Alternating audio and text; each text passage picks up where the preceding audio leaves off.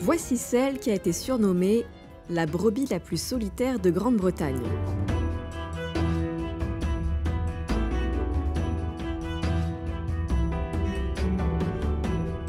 C'est dans les Highlands, en Écosse, que l'animal a été sauvé.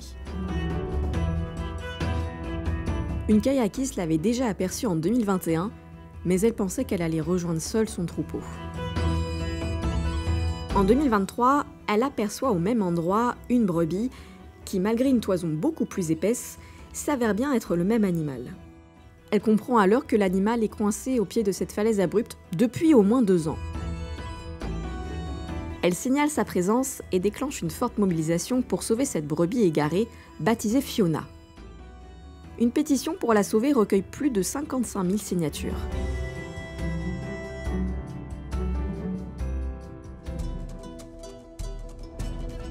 Une équipe d'agriculteurs passionnés décide d'organiser son sauvetage et de l'aider à gravir la pente de 250 mètres. Malgré tout ce temps passé seul, Fiona n'est pas impressionnée par la présence humaine.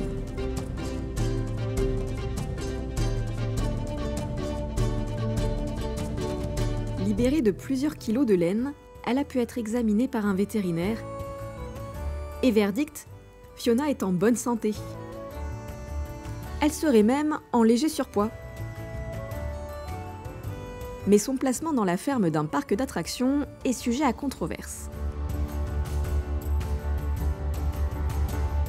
Espérons qu'elle soit accueillie dans un lieu serein où elle ne sera plus jamais seule.